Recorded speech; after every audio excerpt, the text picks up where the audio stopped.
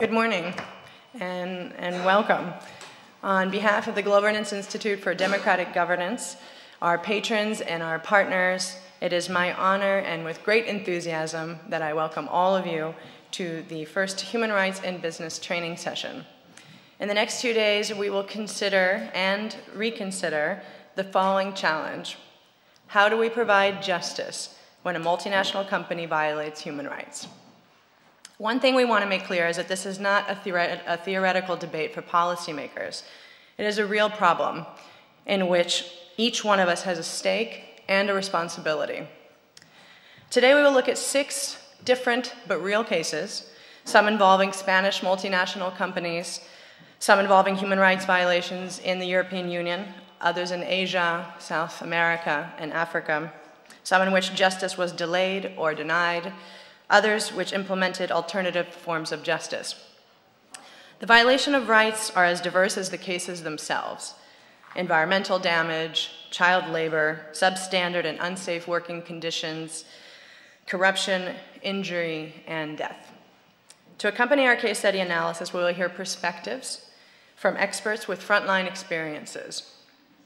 Tomorrow, we will consider the obligations and responsibility of corporations.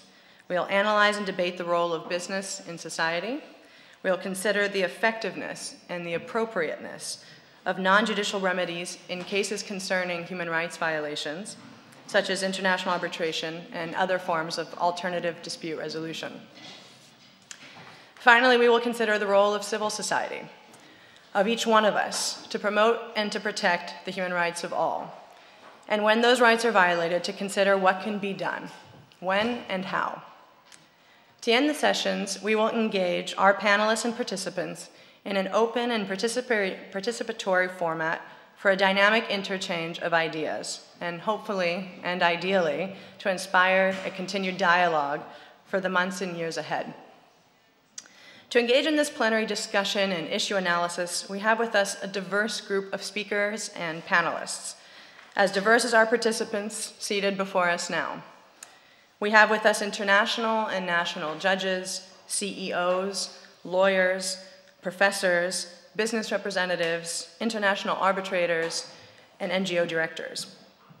I would also like to specially welcome everyone watching live via streaming over the course of the next two days, all the way from New York City to Brussels to Lagos, Nigeria. We invite you to participate in our discussion for all of our, our participants, those both present and joining us virtually, please send us your comments and your questions via Twitter at hashtag humanbusinesseu, and we would like to incorporate those comments and questions into our training sessions. And importantly, I would like to thank our patrons, uh, who without you, we wouldn't be here today, the European Commission, the San Telmo Museum, and the European Capital of Culture 2016, Donostia San Sebastian. We'd also like to thank our research partners who have joined us across six EU member states, the University of Navarra, the Frank Bold Society, the University of Castilla-La Mancha, the University of Jaume I, University of Rovira i Virgili, uh, Kees Van Dam Consultancy, Ludwig Boltzmann Institute of Human Rights, Tilburg University, Utrecht University, Leiden University, the Public University of Navarra, the law offices of Cuatrecasas Gonçalves Pereira, uh, ADEGI, KeyMap University, Humboldt University, the University of Deusto, and the University of the Basque Country. So as you can see, we have a diverse and a talented group of researchers, but research and policy is only one step and one aspect of our work. What we are doing today goes beyond the page. It involves raising consciousness and interchanging ideas between knowledge creators and knowledge users. So thank you for being here. Now, without further ado, I would like to introduce our keynote speaker. Antonio Vitorino, beyond being an extremely likable and knowledgeable person, has quite uh, the professional experience of which we are lucky and honored to draw upon today. Uh, a lawyer by profession, uh, uh, Antonio Vitorino has been associate at the law firm of Cuatrecasas Gonçalves and Pereira, also one of our researchers in our project. A member of parliament uh, for a number of years, he was Minister of Parliamentary Affairs in the government of Mário Soares, then Deputy Secretary of Administration and Justice for the government of Macau. He was a judge on Portugal's Constitutional Court, was elected member of the European Parliament in 1994, then chair of the Committee on Civil Liberties and Internal Affairs of the European Parliament. In 1995, he became Deputy Prime Minister and Defense Minister of Portugal. In 1999, he was appointed the European Commissioner for Justice and Internal Affairs, a post that he occupied until 2004. As a representative of the European Commission, he took part in the convention which drew up the EU Charter of Fundamental Rights and the Convention of the Future of Europe. He also participated in the Intergovernmental Conference which adopted the treaty establishing a constitution for Europe. I could go on, uh, but I think it's quite clear uh, that he has many interesting things to tell us today. And Antonio Vitorino, the floor is yours. Thank you so much. Well, good morning to all of you. And uh, first of all, I would like to thank the Globernance Institute for the invitation. I'm supposed to give you a brief overview on fundamental rights in the European Union.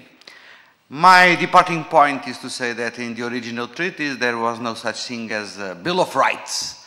But that does not mean that there were no fundamental rights enshrined in different uh, rules of the Treaty of Rome and the Treaty of uh, the uh, European uh, Atomic Energy. The reality is that when we talk about fundamental rights in the European Union, for four decades, almost four decades, the building up of a legal framework based on fundamental rights was above all the work of the European Court of Justice. It's a jurisprudential origin uh, for fundamental rights in the EU legal uh, framework.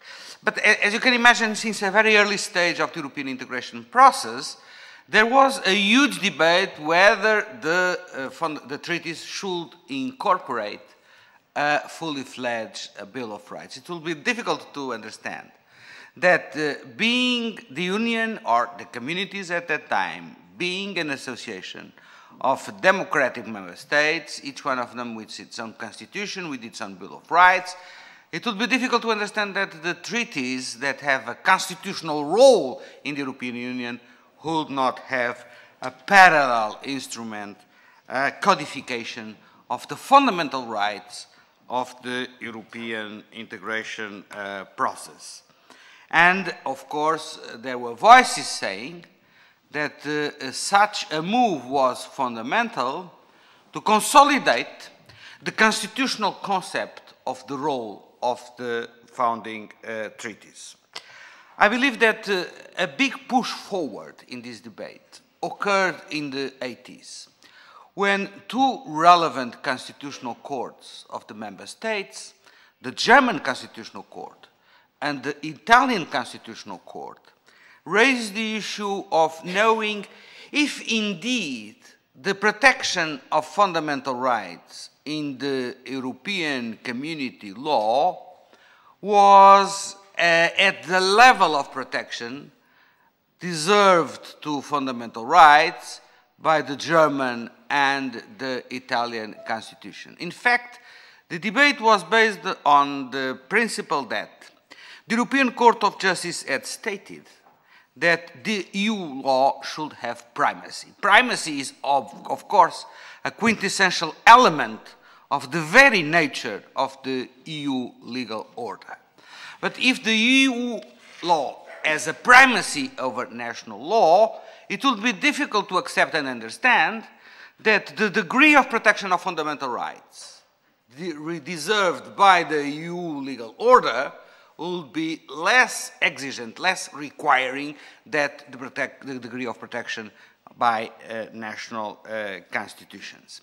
I believe that the conflict in the 80s between the ECJ and these two constitutional courts was uh, a ceasefire uh, though both courts considered that in the overall, the protection of fundamental rights at EU level was equivalent to the protection deserved by national constitutions. But, and there is a very important but, of course, uh, there was a push also in the sense that there should be some move at European level to clarify the legal status of fundamental rights in the overall EU legal order.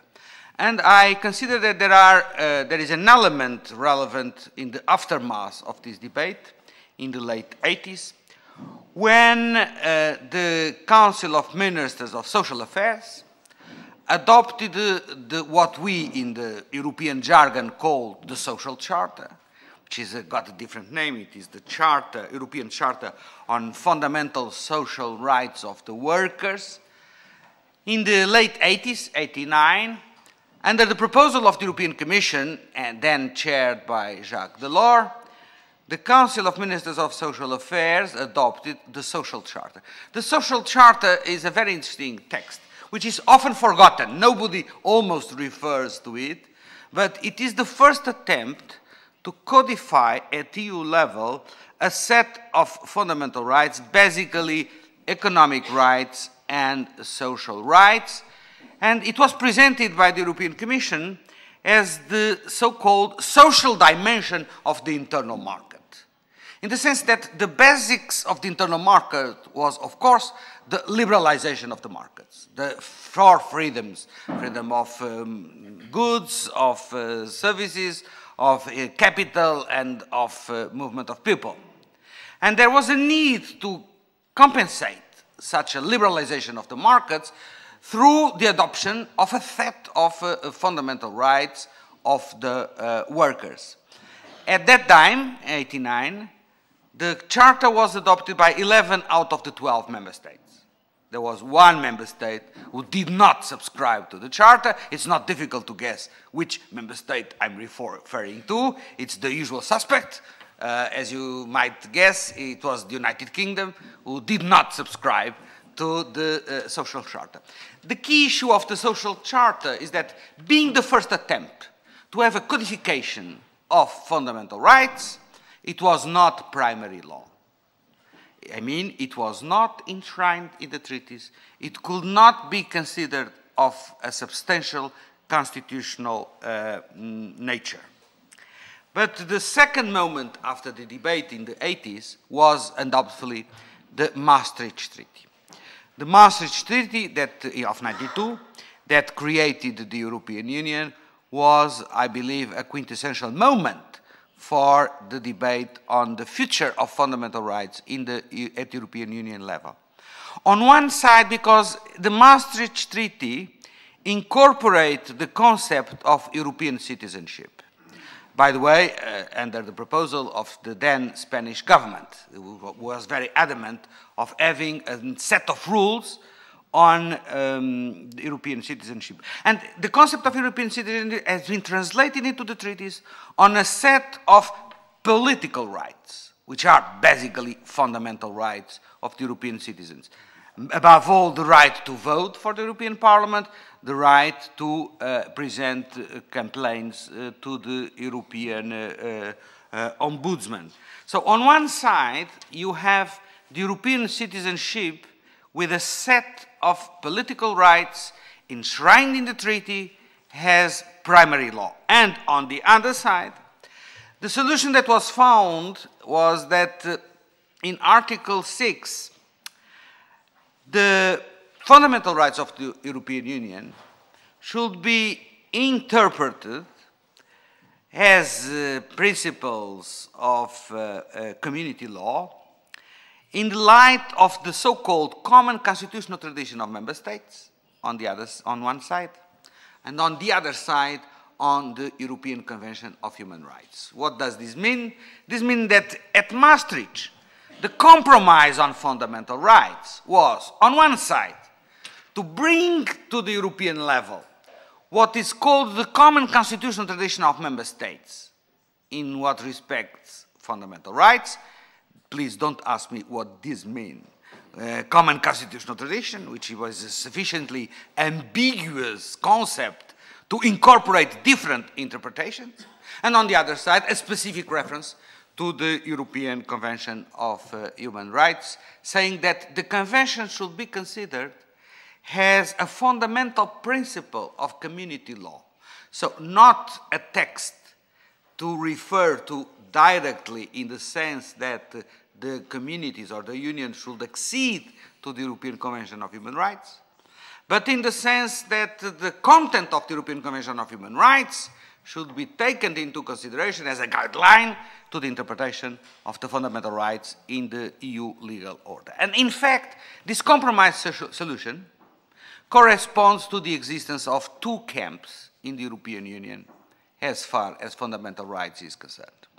One camp was the federalist camp, clearly, saying there is no fully fledged material constitution at EU level if we do not have a Bill of Rights. So we need a Bill of Rights at EU level. It's the constitutional approach. The Federalists um, kept insisting that it was absolutely necessary to include in the treaties a fully fledged set of fundamental rights. But on the other side, a number of member states considered that uh, being reluctant to the federalist concept, being much more closer to the idea of the intergovernmental cooperation, they favored a different solution, an alternative solution, having the European Union acceding to the European Convention of Human Rights. I mean, having the European Union has, in parallel to the member states, to become one party in the European Convention on Human Rights. And at those times, beginning of the 90s, uh, the intergovernmental approach prevailed. And the Council of Ministers asked the European Court of Justice if the, it was possible for the Union to accede to the European Convention of Human Rights. And in 1996, the European Court of Justice made it clear that for the European Union to be party to the European Convention of Human Rights, it was necessary to have in the treaties, as primary law, a specific habilitation clause. So it was not enough, the reference to the European Convention of Human Rights, as a fundamental principle of community law, to allow the Union to require a formal accession to the European Convention of Human Rights. So the decision of the European Court of Justice was clearly a setback to those who uh, had a more intergovernmental approach. When you have a setback of, from one camp, you can expect a push forward from the other camp, definitely. And the Federalists came in 1999 with the idea that the moment is there to draft a Bill of Rights specific to the European Union legal order. And in fact, during German presidency in 1999, the European Council of Essen decided to create a body. Don't uh, ask me what this means, a body, an entity that would be in charge of drafting a charter of fundamental rights. But as as it is very common in the European Union, it was a very ambiguous compromise. Because nobody said at that time if such a charter would be legally binding or non-legally binding. It was a charter. It was a sort of a pure academic exercise. And then, when the body started meeting, under the chairmanship of a former colleague of mine, uh, the former president of the German Constitutional Court, Roman Herzog, uh, well, the body took its destiny on its own hands. Sometimes these things happen with uh, uh, institutions in the European Union. The body started by calling itself convention. And they started work. I was a member of the convention, so I am to be blamed too. We started to draft a charter that uh, was done in a way with a clear vocation of becoming legally binding. So it was based on articles, it was drafted on uh, pure juridical approach, and it had even a set of final articles, very complex ones, by the way, that uh, will define the relationship between a legally binding Bill of Rights of the European Union with the European Convention of Human Rights, of which all member states were parties, by the way, and with the national legal order. At the end of this exercise, in 2000, the work done by the Convention was presented to the heads of state and government of the European Union. By the way, very nearby, in the Biarritz uh, European Council of uh, 2000 and the French presidency. And the, the work was there. It was aimed to become legally binding, but of course the split among member states prevailed. The UK opposed, with a very strong argument. We have just joined the European Convention of Human Rights. Two fundamental rights shocks are a little bit too much for uh, the British uh, taste. And, of course, the, uh, the opposition, the British were not isolated. The British were supported by the Nordic countries, Sweden, Finland, Denmark, and by the Netherlands, who had traditionally been in the intergovernmental camp and were not very adamant of the federalist move towards a fully fledged Bill of Rights enshrined in the EU uh, treaty. Therefore, the conclusion was that the Charter would not be legally binding. It would be a pure political declaration. But if you see the Charter, if you read the Charter of Fundamental Rights, you will see two main features. First, it is the most updated attempt to codify a set of fundamental rights as they stand today after the evolution of the Declaration of uh, Human Rights uh, of 48 and after the European Convention of Human Rights of the 60s in the Council of Europe and the several other legal instruments like the UN Civic Pact, the UN Political Pact and so on. So it is an attempt of uh, a synthesis of the state of the art of fundamental rights. And it is divided into uh, three, four major key elements. First, civil rights, as we know them, and to a large extent, the Charter of Fundamental Rights in this aspect overlaps with the European Convention of Human Rights. Second building block, economic, social, and cultural rights. And this is extremely important for business because usually business just look at secondary law at European level they forget that the secondary level of legislation is submitted to the primary law, and the Charter today is primarily, primary law. I will come back to that point. So you have a set of economic rights, social rights, and cultural rights. And then you have the rights of the third generation or fourth generation. Now I'm a little bit lost, to be honest. You have the right to open administration, for instance, but you have also room, rules on data protection.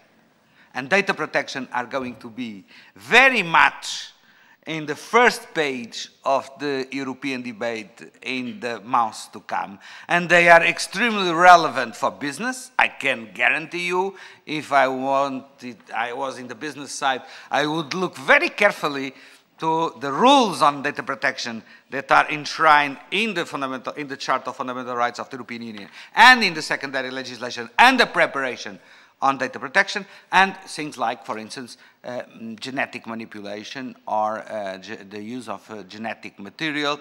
Those are the rights of the third or of the fourth uh, uh, generation. But why am I talking about this if at the, at the end the decision of Biarritz was that the charter would just be a political declaration? Well, because life is more uh, dynamic than sometimes we expect. First and foremost, after the adoption of the political declaration, both the European Parliament and the Commission decided that they should be legally binded by the Charter.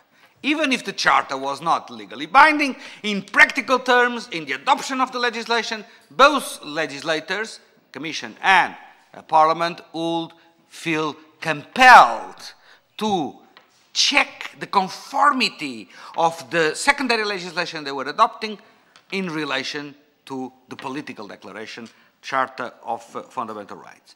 And then, during these last years, between 2000 and 2007, several courts starting referring to the Charter.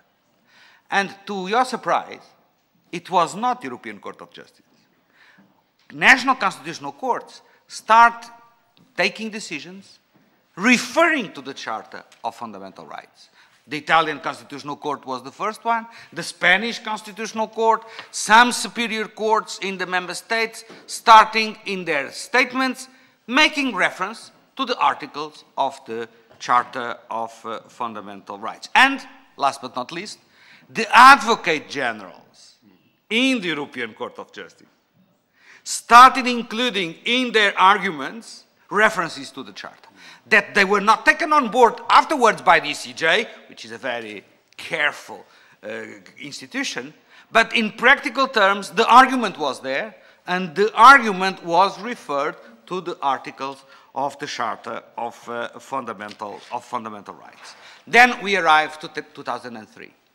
In 2003, the Convention on the Future of Europe decided to adopt an European Constitution, as you know, and the first chapter would be the Charter of Fundamental Rights, the Bill of Rights. So here we go back to our good old constitutional tradition. If we have a constitution, we need a Bill of Rights, and the Bill of Rights is the opening charter of uh, uh, a constitution. But to give some leverage to the intergovernmental camp, the Convention on the Future of Europe included a, a rule saying that at the same time, the Union was habilitated to require access to the European Convention of Human Rights. So, as usual, at the European level, we try to reconcile the best parts of two worlds. One Bill of Rights, but at the same time, pave the way for accession to the European Convention on Human Rights. As you know, the Constitution died in the shores of France and Netherlands in, the, in 2005. And then with the Lisbon Treaty, the Charter was reconvened as a protocol of the Treaty of the European Union. Well, as a protocol, it is clearly primary law. So there is no doubt that protocols have the same legal ranking as the treaties themselves. So since the 1st of December 2009, the Charter of, of Fundamental Rights is constitutional law of the European Union. It is a parameter for uh, evaluating the legality of all secondary legislation at EU level. And as far as the European Convention of Human Rights, there is a huge difference, huge difference, between what had been decided in the Convention on the Future of Europe and what is now legal, legally binding by the Lisbon Treaty. It no, it, it's no longer an habilitation to accede to the European Convention. It's a legal obligation. So making it clear. The treaty says that the European Union shall have to accede to the European Convention of Human Rights. So to a certain extent, in the Lisbon Treaty, the intergovernmental camp got a compensation by an upgrading of the connection with the European Convention of Human Rights. It's no longer an habilitation clause, it's a legal obligation. That's why I would say for the last three and a half years, there has been a very uh, cumbersome, complex negotiation between the European Commission and the Council of Europe in order to uh, make it possible for the European Union to accede to the European Convention of Human Rights. It's a very complex issue. Because as you can imagine, the Council of Europe is composed of, if my memory does not fail me, 47 member states, of which, of course, 28 are members of the European Union, so they are on two sides of the, of the table. But of course, you need to persuade the other 19 that the European Convention should include as a party one international organization, the European Union, of which are members countries that are already parties to the European Convention on Human Rights. And after three and a half years of negotiation, there is a mandate. And there was a mandate and there is an agreement between the European Commission and the Council of Europe on allowing the Union to become party in the European Convention of Human Rights. In fact, in December last year, this agreement was submitted to the overview of the European Court of Justice. And the European Court of Justice, in an opinion adopted in December, in the, on the 18th of December 2014, decided to reject, reject the uh, accession agreement of the European Union to the European Convention of Human Rights. On three basic grounds. The first one is that the European Court of Justice considers that the terms of accession do not preserve the autonomy of the EU law in relation to the international public uh, law that is the European Convention of Human Rights. So, uh, for the European Court of Justice, the terms of the accession violate Protocol 8, annexed to the Lisbon Treaty, that states that the accession cannot uh, undermine the autonomy of the uh, European Union uh, law. The second argument is a marginal one. It's a rather complex one. It's an interesting one. It's about the scope of judicial review on uh, decisions and actions taken by the European Union under common foreign and security policy. It's an interesting debate. I think that it should be studied more in depth, and it is a challenge for those who are in search of a subject for a, a, PhD. Uh, in fact, if you look to the uh, Treaty of the European Union, you will see that uh, the jurisdiction of the European Court of Justice on issues referring to common foreign security policy, policy is very limited. Is very limited. Is very much restricted.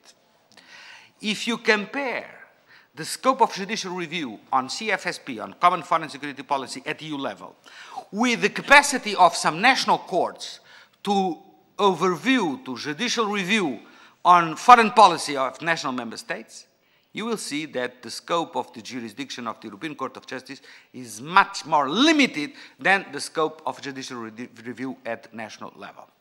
It is true that in some other member states, courts are very much prevented from interfering with foreign policy.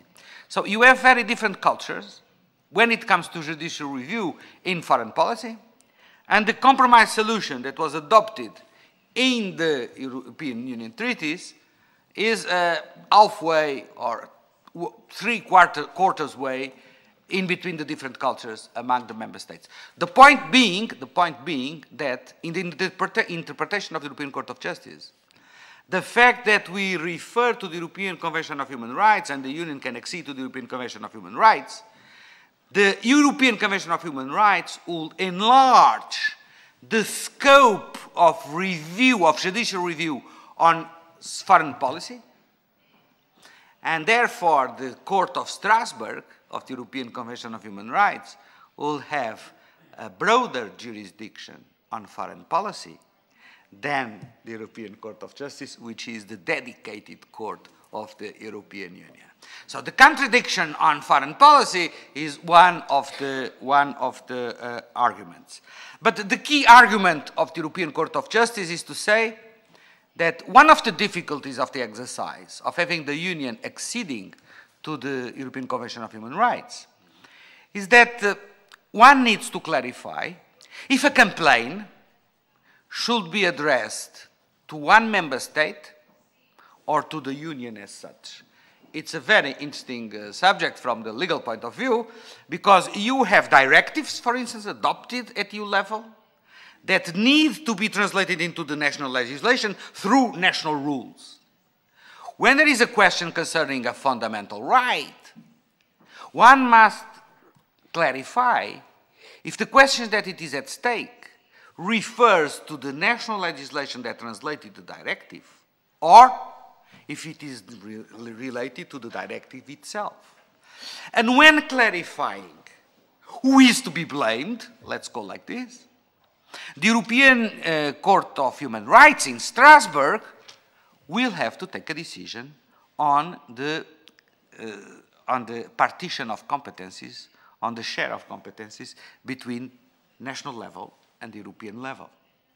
And the European Court of Justice considers that such a judgment by the, by the Court of Strasbourg is illegitimate in light of the European Union legislation.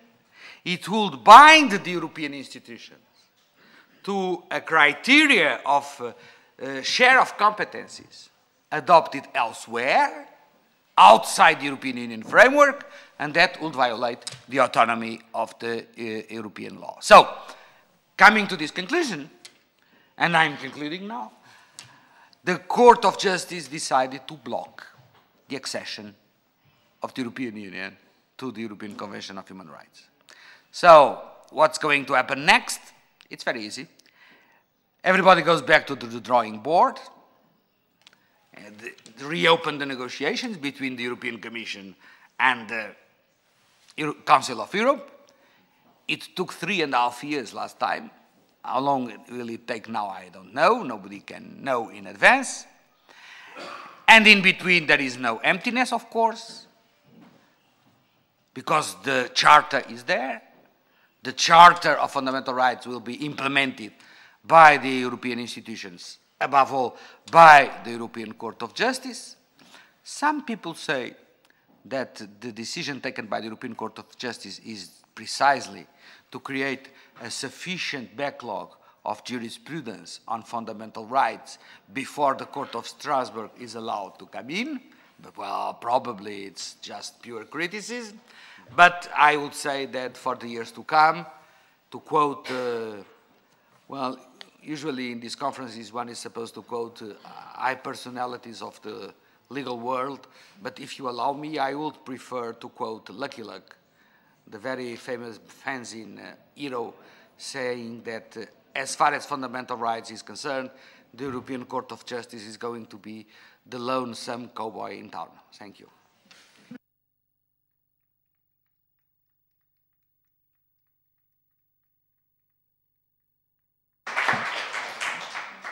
Thank you very much. That was uh, quite an interview, and I think you did very well with the time that was permitted.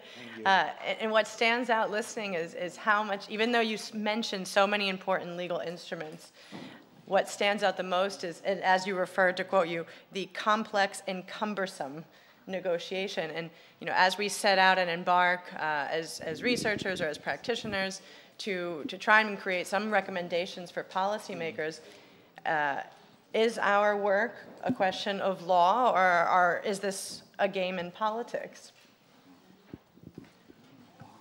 Well, I, am afraid I'm going to disappoint you, but um, we lawyers, and I am a constitutional lawyer, we believe that uh, there is no life uh, beyond the Constitution.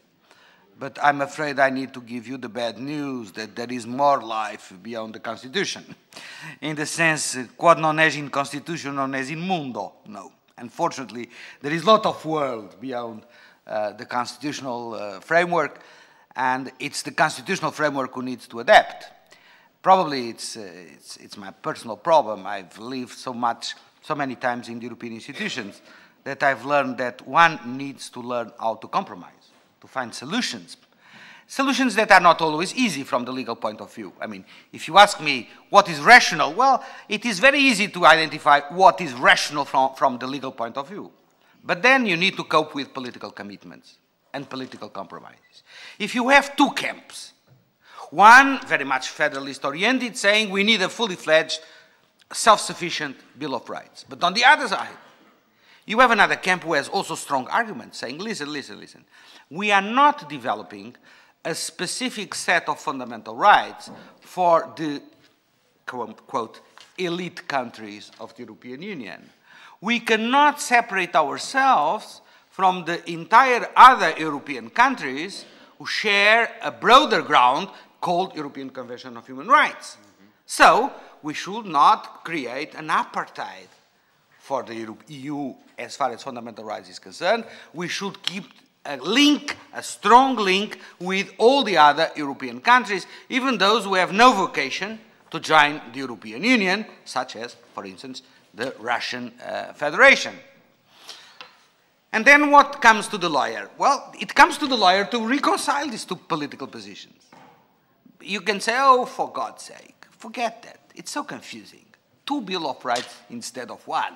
It's much easier to have one and then refer to it. Okay, that's fine.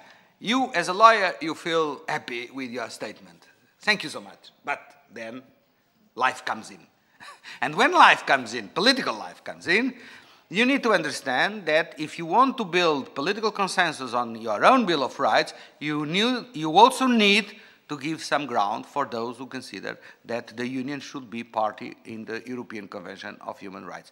I don't hide to you that the difficulty lies in the fact that the solution that we need to find cannot translate into establishing a formal hierarchy between international courts. It's a very sensitive issue. I mean, you need to be sufficiently imaginative and contrary to the public opinion. Lawyers are by far the most imaginative people in the world, I can guarantee you. Um, but in fact, you need to be sufficiently imaginative to find a coordination solution between the two legal systems and the two courts that does not lead to a formal statement on which one prevails, which one is hierarchical superior to the, to the other. And that's what we, the Commission has tried to do in these negotiations for three and a half years. Apparently, the European Court of Justice is not satisfied with the solution, so we need to go back to the drawing board and trying to find new solutions to uh, guarantee a, a, a, mechanism of coordination of the two courts. I, I don't hide to you for those who want to study, make the comparison between the Charter of Fundamental Rights of the European Union and the European Convention of Human Rights, that there are a few cases where the content of the rules are not exactly the same.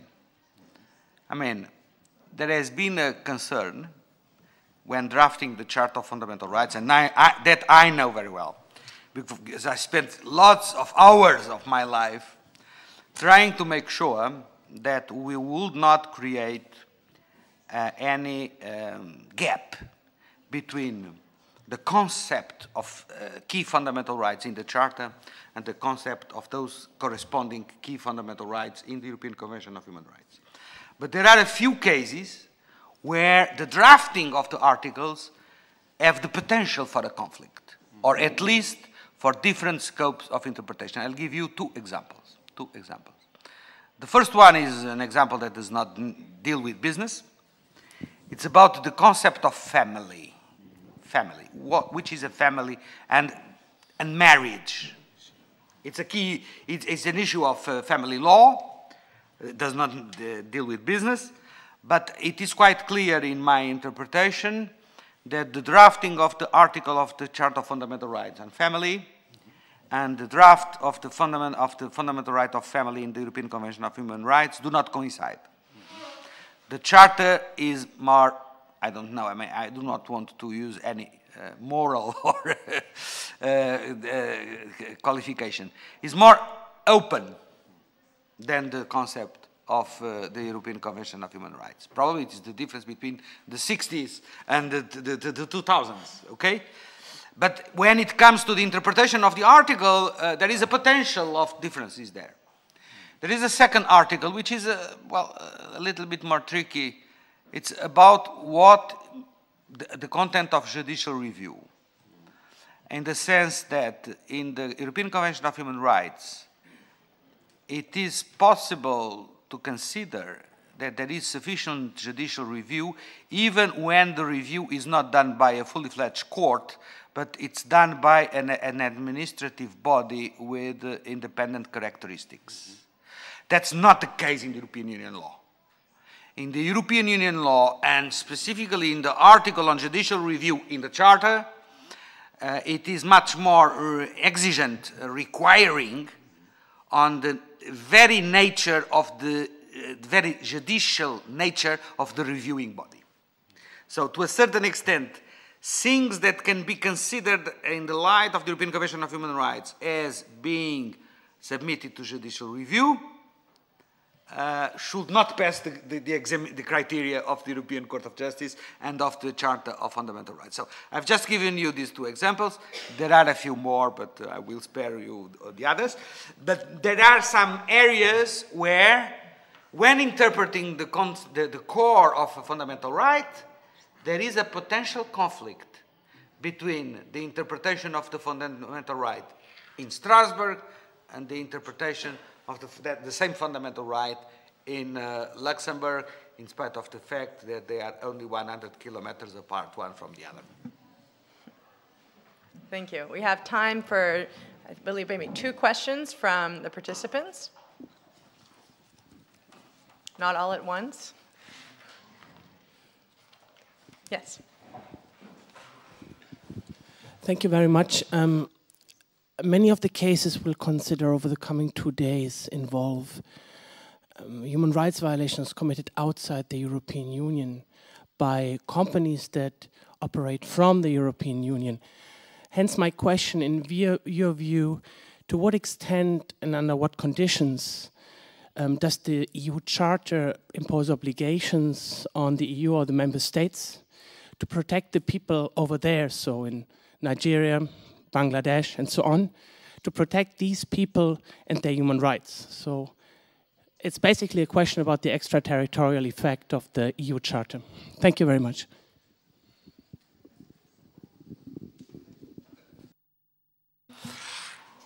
Well, that's a time bomb. the issue will come up.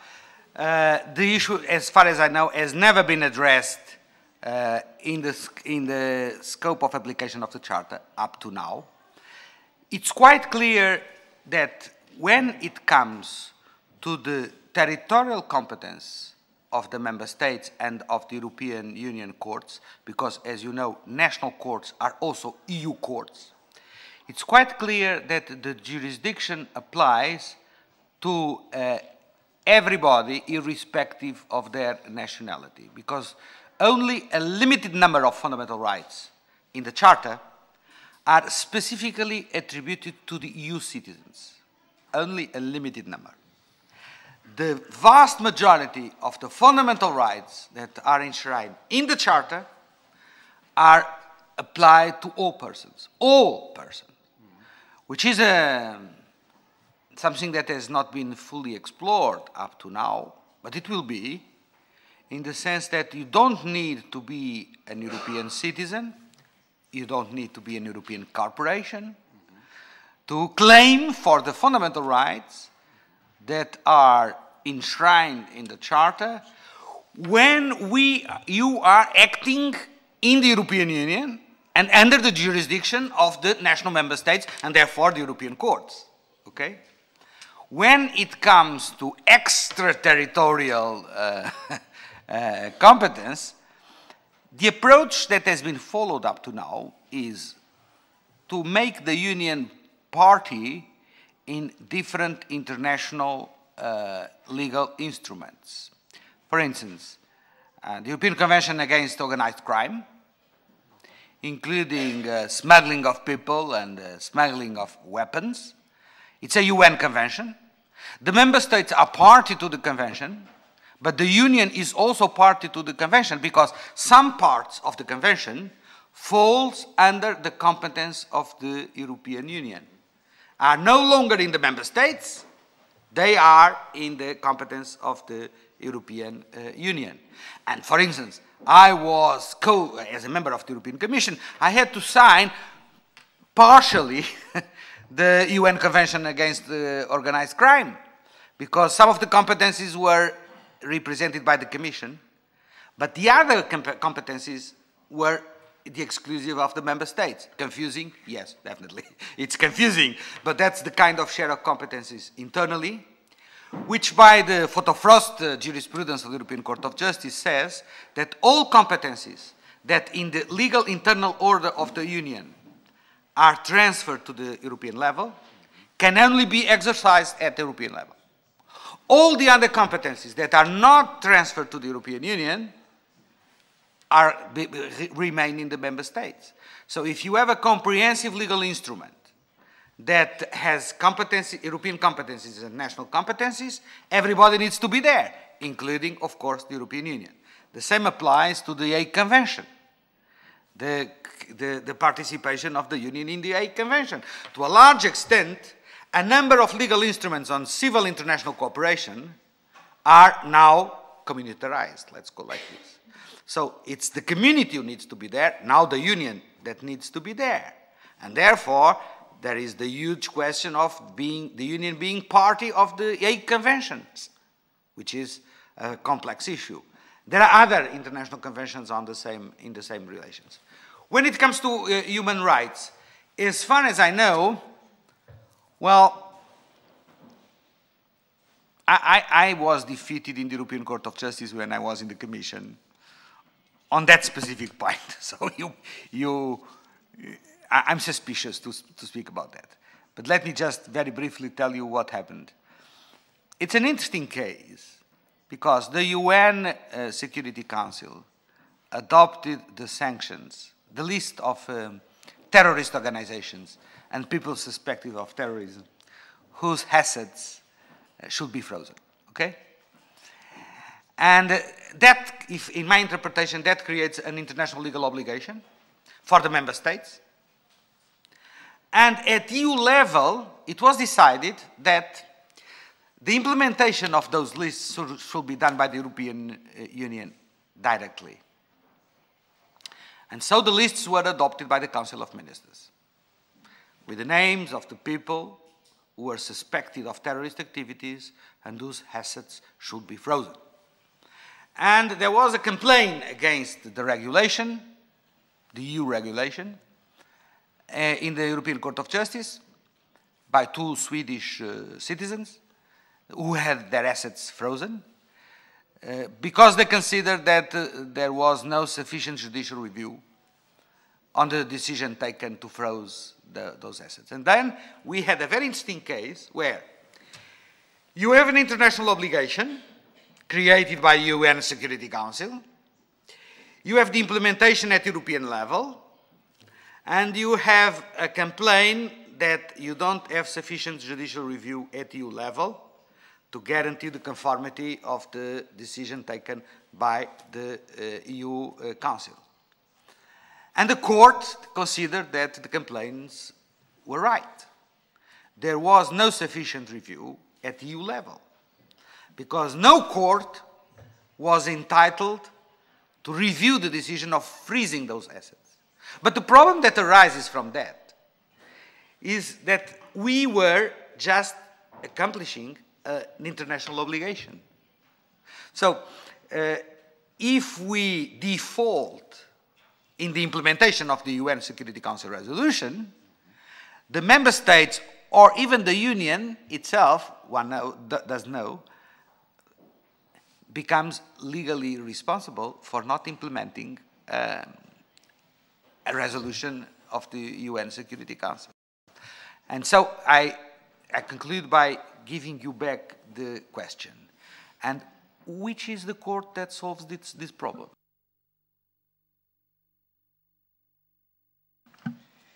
We have time for one more, one more question. Thank you. Philip Gregor, Frank Bolt.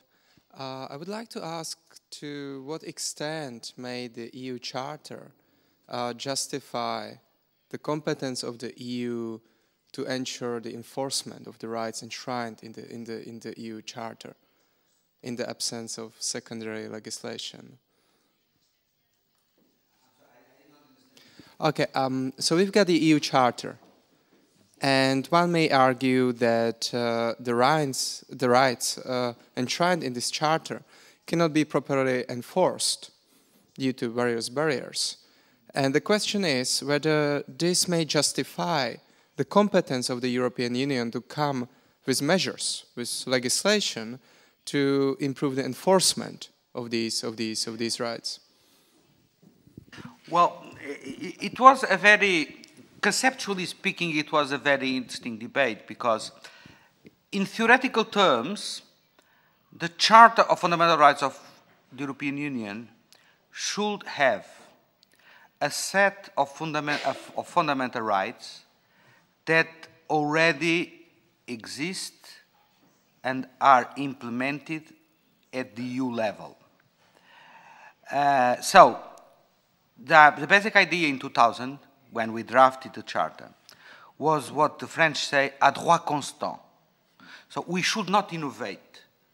We should just stick to the existing level of fundamental rights. So the question that you raise about enforcement, well, the, the enforcement capacity is there. If the fundamental rights were confined to the existing legislation, the enforcement should be developed normally through secondary legislation.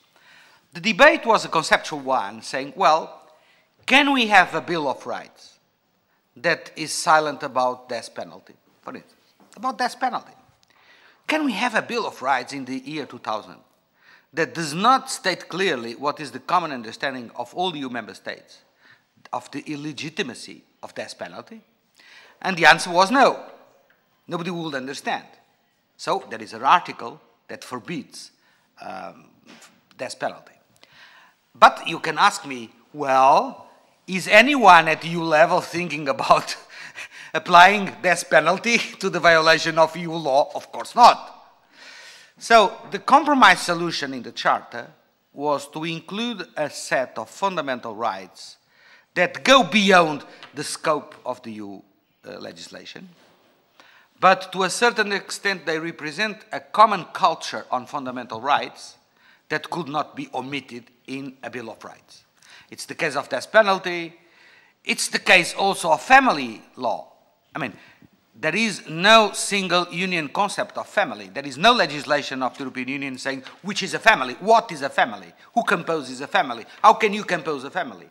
But in fact, in fact, nobody could understand that there was no article on family, on the concept of family. Then you have other border cases, which are more complex. Like, for instance, the article, which is a very interesting one, on genetics, genetic manipulation, genetic research.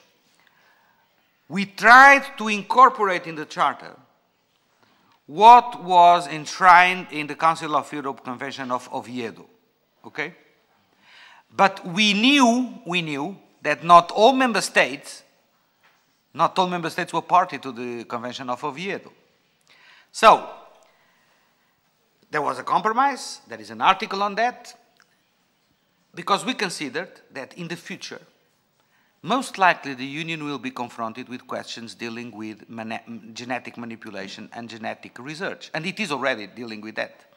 The, the stem cells debate what's the cells you can froze, uh, how, how, can you reuse the cells, the stem, stem, stem cells, yes? Mm -hmm. I think uh, les cellules souches, uh, as the French say, St stem cells. Stem cells. Stem cells, stem cells. Uh, how can you use them? Uh, how can you for, forbid the, the, the, commerce, the trade with, of stem cells? All those elements are already there today in the debate, uh, in the European debate.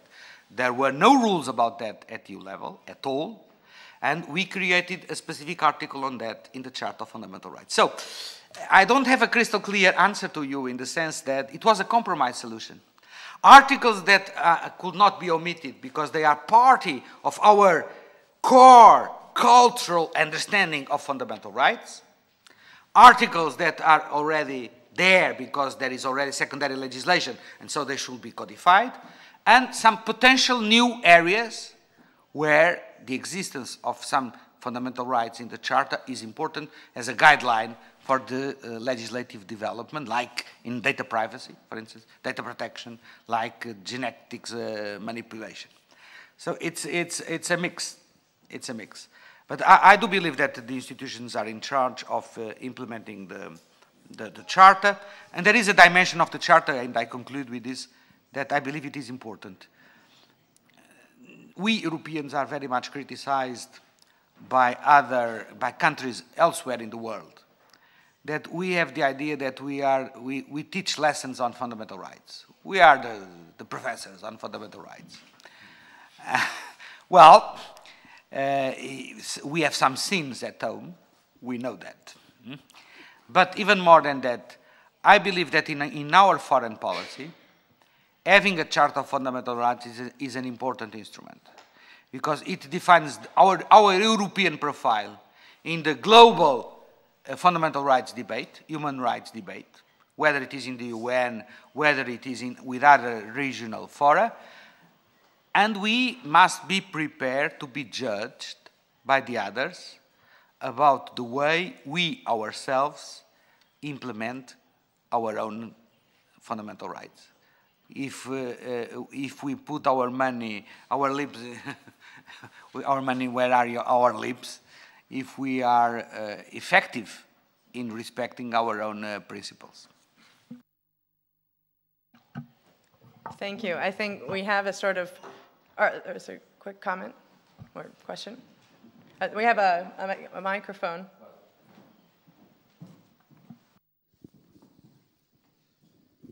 Thank you for the presentation. It was extremely stimulating, actually. Um, don't you think that um, apart from the conflict that we are um, we are seeing now between the two courts, in a way, uh, who is the most important court, whether the Strasbourg or the Luxembourg court. But this is just, uh, uh, just a, a, a, superficial approach, actually. Don't you see there is a sort of uh, new debate uh, like the debate that occurred in the past, you refer to it, between the constitutional courts of some countries and the uh, court in Luxembourg. At the time, the states uh, um, alleged they had more protection of rights than the uh, community. And possibly it was the case at the time. Now, uh, the same debate goes between the Council of Europe and the EU. But uh, isn't the fact that the European Convention is old-fashioned? and does not protect the rights enough. I mean, if we think that the, uh, consider that the European Convention does not have yet a civil right to equality. It's in a protocol, but it's not in force for the time being, which is a basic uh, principle in the European Union. And not only in the European Union, but the, in the UN Bill of Rights. So uh, it's, uh, it's a bit um, how can I say, uh, out of time to think of submitting the EU in a way to the Council of Europe, which has standards that are not at the level of the European Union. Absolutely. The, my, I, I fully agree with you. I don't see too much added value in the accession if you take into consideration the fact that there is already the Charter of Fundamental Rights. So if you ask me, is the protection of fundamental rights in the European Union going to be loser because you don't accede to the European Convention of Human Rights? My answer is no. No, definitely not. Because even the examples I could give you of uh, articles, fundamental rights, where do not coincide, usually or, or I would say, in all cases, I know, the content of the article in the Charter is broader than the content of the. So, the, in the European Convention, it's always a more limited scope, a less protective scope than the one that is in the Charter of Fundamental Rights. So, you are absolutely right. From the substantial point of view, uh, the Charter is much more updated the charter tried to be, with, with problems and uh, imperfections, of course, but tried to be a synthesis of fundamental rights for the 21st century, at least in the beginning of the 21st century. And it's much more developed than a charter that was drafted in the 60s, in the 50s, late 50s, in the 60s, and definitely, even with the protocols, uh, is outdated. The point is not um, cannot just be seen from the perspective of the protection of fundamental rights. It's also a political point. Some people in the European Union, some member states considered that uh, we should not create, allow an enlarging gap between the countries of the European Union and the countries of the Council of Europe when in what concerns uh, fundamental rights. And so keeping the Union linked would be an incentive for the Council of Europe also to, to move ahead. Well, it's a limited uh, scope. I do, uh, the, the, the, impact will be a limited one.